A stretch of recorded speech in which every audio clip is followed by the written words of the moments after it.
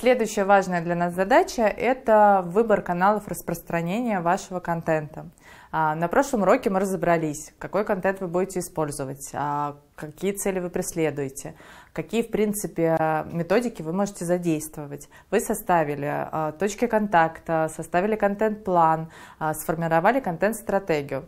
Теперь основная задача для вас, для вашей команды – это то, как воплотить все это в жизнь. Куда идти, куда давать клиентам ваш контент, как его преподносить и так далее.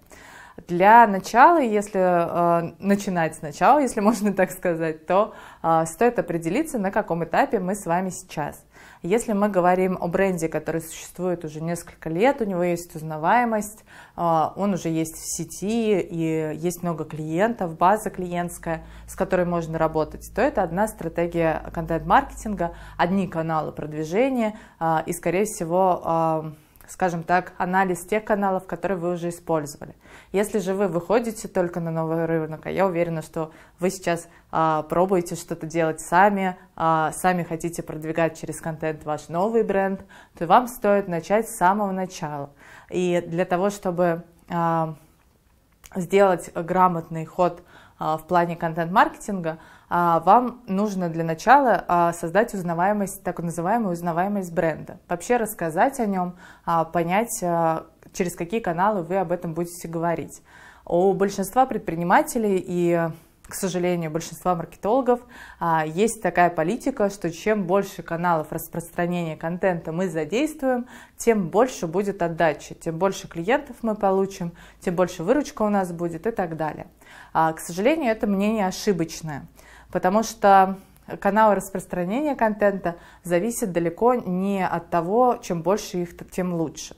Давайте вспомним про портреты пользователя, которые мы с вами создавали, а, вспомним а, про каналы каналы контент-маркетинга, которые мы составляли по каждому портрету пользователя. И вспомним а, те группы, те соцсети, в которых сидят ваши пользователи. Это и будут ваши каналы распространения контента. Допустим, если ваш пользователь а, это а, прогрессивная молодежь, то вряд ли у них есть а, а, свои Э, страницы в Одноклассниках, а если ваш пользователь, наоборот, э, возрастная аудитория, то они явно не знают о такой сети, как TikTok. Поэтому основывайтесь на том, кто ваш пользователь, посмотрите, какие каналы они используют. В большинстве случаев, э, если говорить о брендах, с которыми я работаю, конечно, это таргетированная реклама Facebook, Instagram, это email-маркетинг, это, ну, собственно, все социальные сети. Не стоит отметать а, вообще социальные сети. Если вы думаете, что ваша мама не сидит ВКонтакте, то стоит ее спросить, если она ваша целевая аудитория. И стоит посмотреть срезы, особенно возрастные и гео, а, где находится та или иная аудитория. После того, как вы определили это, а, вам нужно понять, а, на какие каналы распространения а, контента вы делаете ставку. Ну, допустим, у вас есть хорошо работающий сайт, в нем есть много страниц, он красивый, многостраничный, который вы сделали сами или заказали в веб-студии, и вы первым делом думаете о том, что вы слышали такое слово, как SEO, и вам тут же нужно продвигаться в, кон в контекстной рекламе. Вы нанимаете SEO-специалиста, тратите на это огромное количество денег, скорее всего, а, тратите огромное количество на контекстную рекламу и не получаете ровно никакого результата. В первую очередь, потому что вы э, не разобрались э, в самой системе распространения контента. А, тот же самый SEO-оптимизация начнет работать на вас через год. Если вы тестируете какую-то гипотезу, например, вы тестируете тот или иной продукт или выходите на новый рынок, то я советую отказаться от SEO-оптимизации на первом этапе. Возможно, вы услышите другие отзывы от других маркетологов, и это нормально, у всех разные стратегии продвижения. Но я на своем пути не встречала ни одну компанию, которая бы на первом этапе SEO-оптимизация привела какие-то классные результаты и привела много клиентов. Также, если мы говорим о контекстной рекламе, посмотрите количество запросов, которые есть в контекстной рекламе по вашему продукту, по вашей проблематике и по вашей теме. Введите просто в Яндексе а, запрос на, например, там, фотостудии, посмотрите, сколько запросов делает пользователь. Если там есть оптимальное количество запросов, то есть большое, а, и люди действительно ищут информацию через Яндекс, через Google, то вам стоит заняться контекстной рекламой. Если вы видите, что количество там э, запросов там предельно мало, то, то вам стоит э, закрыть глаза на этот канал распространения, хотя бы на первом этапе не тратить на него деньги.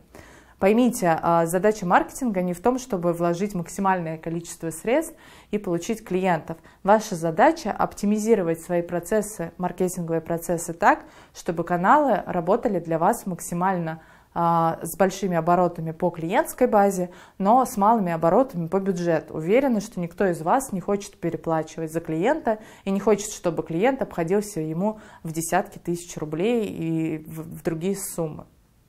Если мы говорим а, о распространении контента через другие а, каналы, то здесь их стоит разделить. Они есть платные, есть бесплатные. А, например, у вас есть сайт, скорее всего, и вы делаете подписку на свою рассылку на какой-то странице, скорее всего, на главной, вы убеждаете клиента в том, что ваша рассылка интересная, в ней много полезного контента, и если пользователь на нее подпишется, то он получит просто а, кучу полезной информации.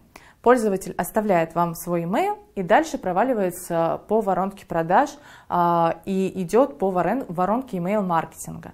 Я не знаю ни одной компании, пожалуй, из крупных, а, которая бы не использовала такой инструмент, как email-маркетинг.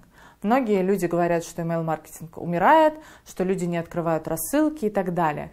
Но представьте себя на месте своего клиента или сами зайдите в свой почтовый ящик, посмотрите, какие рассылки вы читаете, на что вы подписаны и что вам действительно интересно. И используйте этот канал, а он для вас в данном случае будет бесплатным, потому что вы привлекли клиента, он самостоятельно подписался, и дальше вы ему отправляете рассылки, а, не переплачивая за это, не а, лишний раз не вливая в него деньги. А, на какие показатели стоит ориентироваться при email-маркетинге? Конечно, проверяйте количество отписок, проверяйте количество открываемости писем, смотрите вашу подписную базу и работайте с ней. А главное, делайте такие рассылки, которые бы хотели открывать сами и хотели бы ими делиться со своими друзьями, например.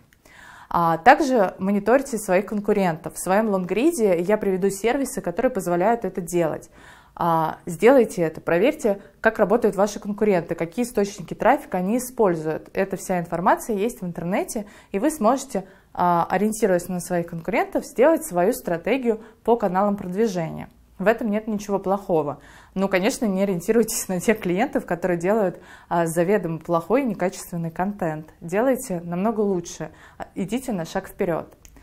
И э, на что стоит обратить внимание при работе с материалами, при использовании площадок и так далее. Э, в первую очередь э, обращайте внимание на количество посещаемости того или иного ресурса.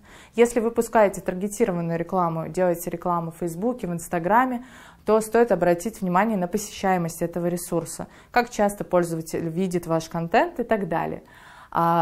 А, развивайте активность материалов. Не обязательно а, закладывать в бюджет таргетированную рекламу. Делайте вирусность, которую пользователь будет распространять а, сам. То, как я уже говорила, делайте материал полезным, которым захочет поделиться любой пользователь.